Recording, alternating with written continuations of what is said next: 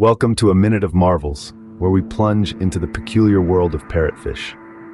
These vibrant voyagers of the deep aren't your average sea dweller. Their eccentricities begin with their beak-like dental structures, oddly reminiscent of a parrot's beak, hence the name parrotfish.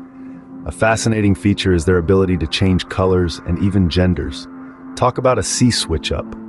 They're true underwater chameleons, masterfully blending into their coral reef homes. Now, brace yourself for the bizarre. Parrotfish sleep in a self-made cocoon of mucus. Yes, you heard it right, a mucus blanket to deter predators. And what's more, they're the unsung heroes of our beaches. The sand beneath your toes?